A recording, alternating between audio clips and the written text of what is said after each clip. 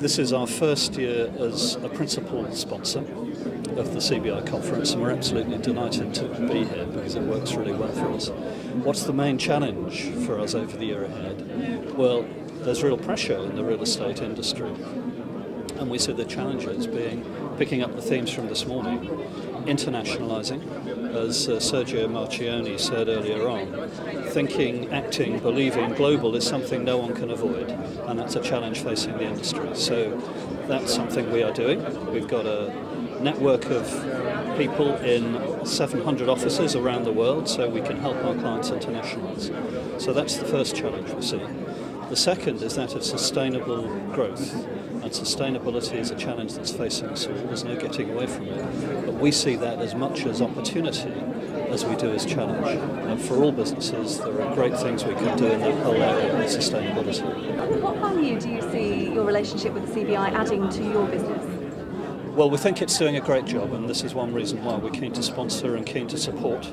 We think the way it's presented the economic challenges to the government has been really well done, and it's clearly had an impact, as we saw from the Prime Minister's statement this morning. So we're very strongly supportive of that. And of course, it's a great networking organisation. It's something where our agenda is very closely matched by the things CBI is doing. So it's good for us, and we hope that we are good for CBI too. Well, the whole world is globalising. There's no getting away from that at all. Um, there's a huge opportunity out there, again, as we heard this morning repeatedly.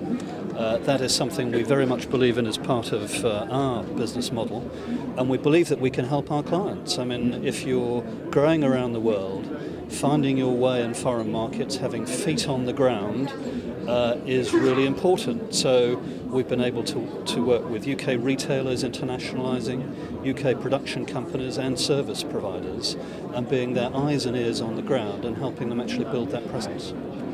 Finally, Andrew, what do you see as the key messages that you're hoping delegates will take away from today? Well, first of all, enjoy the day. I mean, it's a great networking opportunity, really enjoyable, great morning session. Um, secondly, take those uh, those themes of growth, sustainability, working on productivity seriously. I mean, I took this morning's messages as being actually very, very hopeful. Tough times out there, but there's a lot of things that we can all do.